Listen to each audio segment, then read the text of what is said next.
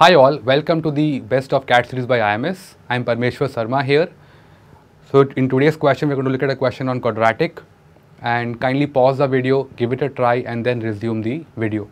So in this question, the objective is to find out the least value of the sum of the squares of the root of the equation x square plus a plus 3 into x minus of a plus 5 equals to 0. So if I take the roots as alpha and beta, the objective is to minimize alpha square plus beta square where alpha beta are my roots. Now from the equation which is quadratic we can easily find out the sum of the roots and the product.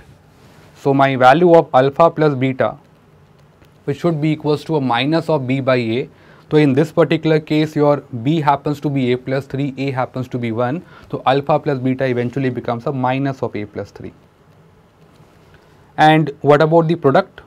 Which should be equal to a c by a. c happens to be a minus of a plus 5, a is 1. So, alpha beta becomes a minus of a plus 5. Now, can we find some connection between alpha square plus beta square and the two entity alpha plus beta and alpha beta? Yes, we have the formula. So, if I look at the expression alpha square plus beta square which I want to minimize will give me alpha plus beta whole square minus 2 alpha beta.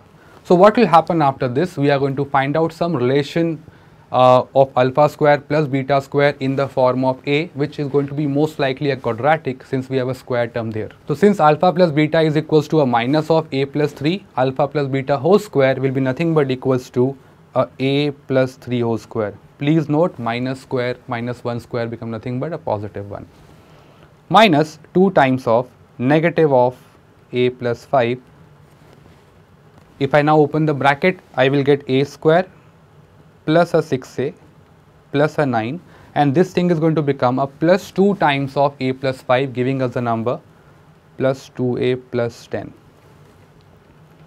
So now we get a square plus 8a plus 19 and since I want to minimize the value of alpha square plus beta square, in other words we have to minimize the expression a square plus 8a plus 9. Now at this moment people can use various method some people might might want to use the term dy by dx. I will avoid that for the time being. And one can use the method of completing the perfect square or you can use that formula as well for a quadratic. So over here if i look at the first method if i try to use the perfect square approach the term a square i can add as a whole square. Now the term 8a i can split as 2 into a into 4 since i want the term 2ab so twice of a into 4. So as of now you have a whole square plus 2 into a into 4. You also need a term involving b square which in this case happens to be 4 square. But my constant term stands at 16 currently but we want the number 19. So one need to add a 3.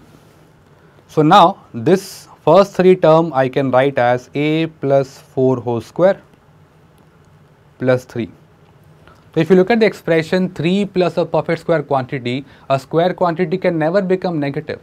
So 3 plus perfect square quantity is minimum going to be equals to 3 and that can only happen when the square term become equals to 0 and for the square term to become equal to 0 my value of a plus 4 has to be 0 or one can say a need to be equals to a minus 4.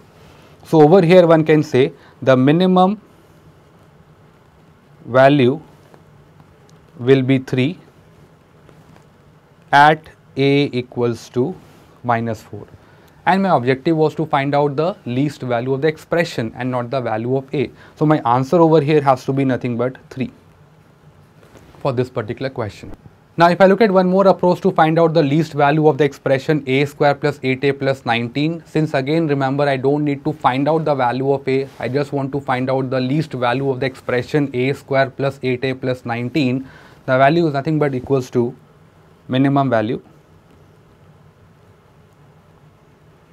If someone knows minus of delta divide by 4a or people can say 4ac minus b square divide by 4a. Here my a is 1, b is 8 and c is 19. So 4ac will become nothing but 4 into 1 into 1976 minus the b square term become a 64 divide by 4 one get 12 divided by 4 as 3 that is the least value. please note the value of x which is going to minimize the expression should be equals to so minimum at you can say a in this particular case should be equals to a minus of b divided by 2a you will get nothing but